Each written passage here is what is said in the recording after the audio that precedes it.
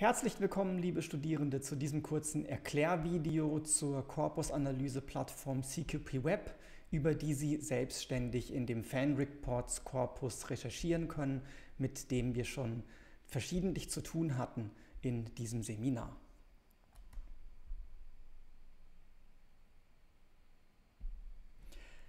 Nochmals zur Erinnerung, was sind FanReports? Das ist eine Rubrik auf eventim.de, diesem Ticket-Seller im Internet. Da finden Sie äh, auf dieser Internetseite zunächst bei den einzelnen Künstlern und Künstlerinnen hier so kurze Biografien. Menschen, die Tickets für diese Künstlerinnen und oder Künstler gekauft haben, werden im Anschluss aufgefordert, Bewertungen abzugeben, entweder mit Sternen oder aber noch zusätzlich mit solchen kurzen Konzertreviews. Und hier ist mal so einer, hier sehen wir ganz viele der Dinge, die wir schon im Kurs herausgearbeitet hatten, als typisch für emotionalisierte Fankommunikation, ähm, die Großschreibung, die vielen Ausrufezeichen, aber auch solche Ausdrücke wie der Hammer, sensationeller Abend, extremes Ausnahmetalent. Und wir können jetzt von hier aus mal überlegen, wonach wir denn noch in diesem Korpus suchen könnten. Das Korpus, mit dem wir arbeiten können, ähm, ist recht groß. Es umfasst 361.957 Konzertberichte zu ähm, gut 11.000 verschiedenen Artists. Das meiste sind Musikerinnen und Musiker, aber wir finden auch Musicals, Opern und sogar Fußballspiele, die dann etwas unsauber auch als Artists erfasst werden. Ähm, wir haben ein Korpus in der Gesamtgröße von 27,8 Millionen Tokens. Und das Schöne ist, dass das Korpus morphosyntaktisch annotiert ist. Das heißt, wir können zum Beispiel auch nach Wortarten suchen. Ich werde es gleich vorführen. Wir haben zu jedem Text Metadaten, nämlich erstens zu Artist, aber auch zum Datum, zur Location und besonders schön zum Rating. Also wir können ganz gezielt in ein Sterne oder auch in zwei Sterne, fünf Sterne, Rezensionen und so weiter suchen. Sie finden das Korpus hier unter dieser URL ähm, und es gibt noch ein Tutorial, was nicht speziell für dieses Korpus erstellt wurde, sondern für meine Fußballkorpora, aber die Suchsyntax wird dort sehr ausführlich erklärt. Wenn Sie sich ähm, die ähm, URL aufrufen, landen Sie zunächst auf dieser Startseite, müssen sich dann einwählen mit Ihrem Nutzernamen, den ich Ihnen mitgeteilt habe und können dann hier unten das Fan Reports Korpus aufrufen. Das ist dann diese Suchmaske und jetzt können wir hier einfach mal nach einem Wort suchen. Wir tippen einfach mal ein Genial und finden hier jetzt ähm, genau diese Wortform, Groß- und Kleinschreibung wurde ignoriert. Das stand hier Ignore Case ähm, und wir finden 22.000 Treffer, mehr sogar noch in gut 20.000 verschiedenen Texten. Ähm, wenn wir jetzt hier mal draufklicken, dann sehen wir, was für ein Artist es ist ähm, und aus welchem Jahr, wie viele Sterne, wo das stattgefunden hat und so weiter.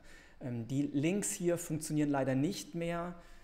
Ähm, Eventim hat die Seite restrukturiert, deswegen führen diese Links einfach nur generell auf die ähm, Künstlerinnenübersicht hier von Tabaluga.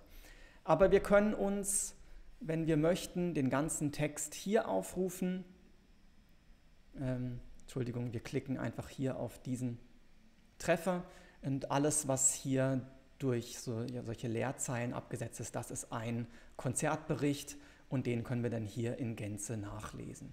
Wir haben die Möglichkeit, auch nach Lemmata zu suchen. Sie erinnern sich vielleicht aus der Einführungsvorlesung, Lemmatisierung bedeutet, dass alle Wortformen auf eine Grundform zurückgeführt werden. Ähm, und wir können dann hier in geschweiften Klammern das mal suchen. Und jetzt finden wir auch hier flektierte Formen, geniale, ähm, geniales und so weiter. Ähm, wir haben die Möglichkeit, auch nach Wortarten zu suchen. Das geht mit so einem Unterstrich und dann diesem Kürzel, wenn Sie wissen, welche ähm, Wortartenkürzel es gibt, dann können Sie sich hier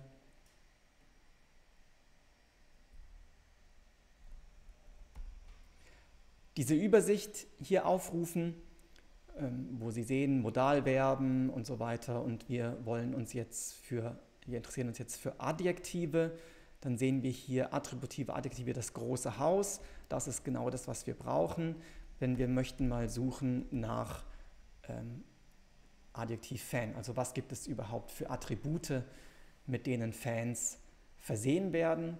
Ähm, jetzt sehen wir hier bekennender Fan, großer Fan, Riesenfan, begeisterter Fan, jahrzehntelanger Fan, langjähriger Fan, treuer Fan, richtiger Fan.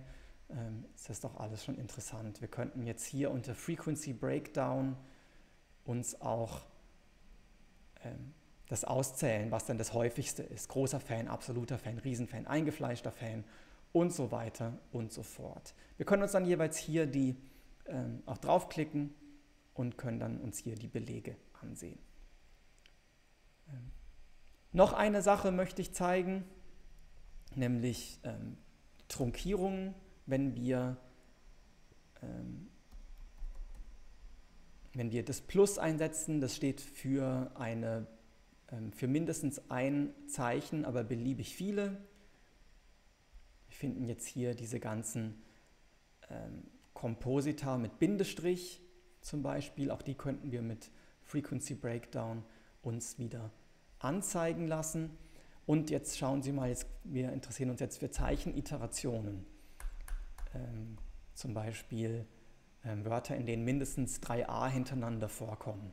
Ja, und dann sehen wir hier ähm, Hammer, ja, Wahnsinn, Mega, Headbanger und so weiter. Das ist doch alles interessant.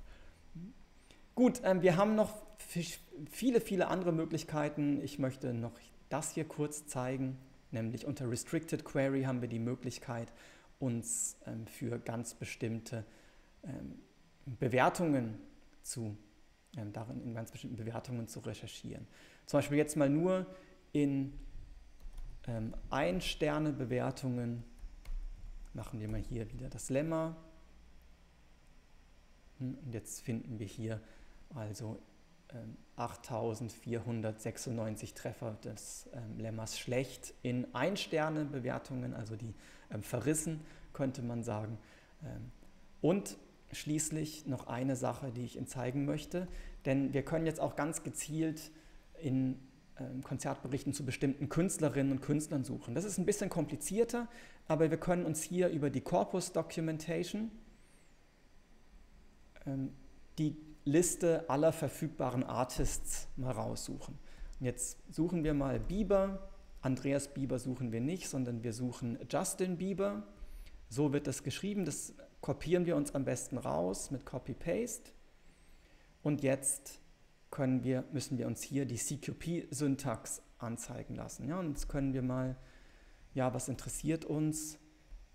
Ähm, wir ich schreibe Ihnen das alles auf. Ja? Hier in der CQP-Syntax muss man es so schreiben, Lemma ist gleich in Anführungszeichen weinen und das Ganze in eckigen Klammern. Und jetzt die Syntax lautet so, zwei Doppelpunkte, match.text artist. Sie sehen hier unten so ist, das, ist das Meta, die Metadatenkategorie erfasst. Artist ist gleich Justin Bieber. So sieht das aus. Jetzt gucken wir mal, und jetzt, ähm, ach Entschuldigung, ich habe noch hier das drin, das brauche ich nicht.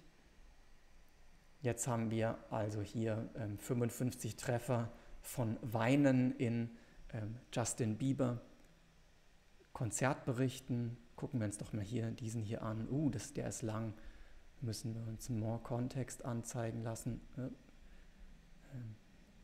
so, Jetzt können wir es hier nachlesen. Ne? Ich habe so geweint, dieses Geld hat sich auf jeden Fall gelohnt. Ist doch schon mal interessant, ne?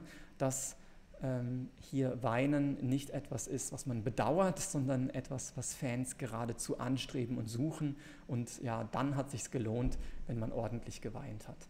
Ähm, das so ein paar erste Einblicke, ähm, wie man mit diesem Korpus arbeiten. Sie finden dann auf Opal eine Reihe von Vorschlägen, wonach Sie suchen können. Ähm, viel Spaß beim Ausprobieren. Ciao.